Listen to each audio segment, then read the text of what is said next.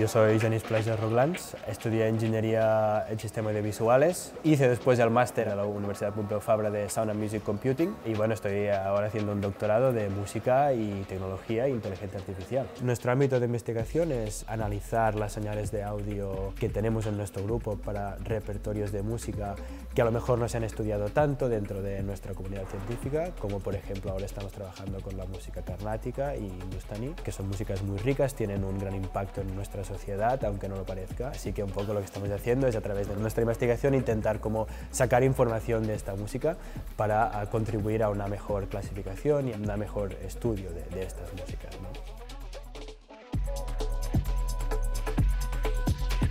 Los avances en nuestro, en nuestro campo cambian muy deprisa, nuevas tecnologías aparecen día tras día y bueno, como en el campo de la imagen han salido modelos como DALI o como Midjourney, que son estos modelos que le das una descripción, te generan una imagen, ¿no? O ahora este ChatGPT que te responde a las preguntas, ¿no?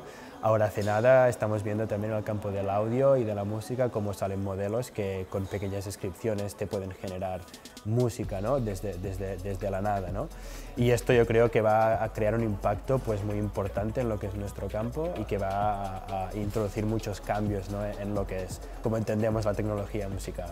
Aquí viene un poco el dilema, ¿no? Cómo esta tecnología puede ayudarnos o ayudarnos a caer, ¿no? Así que yo creo que un poco lo que tenemos que hacer es uh, dibujar esta línea para que todas estas tecnologías que, que, nosotros estamos pues, investigando y proponiendo sirvan para ayudar ¿no? a lo que es la comunidad musical, ayudar a la gente que vive de la música, en vez de de alguna manera pues sacar un poco el, el, componente humano de lo que es la creación musical que para mí es muy importante y que para mí es un poco lo que le da la gracia a la música y su componente artística y lo que hace la música que sea la música, ¿no? El sistema aquí en España para entrar un poco en el mundo académico ya más laboral para quedarte hasta dentro de 20 años, en mi caso, es un poco complicado, así que yo sinceramente ahora mismo me, veo en la empresa, en la industria, uh, idealmente en algún sector más uh, dedicado a la investigación. En otros sitios, a lo mejor del mundo, pues vemos algún tipo de, sistemas que, que, no son como tan restrictivos o a lo mejor tan elitistas, por decirlo de alguna forma.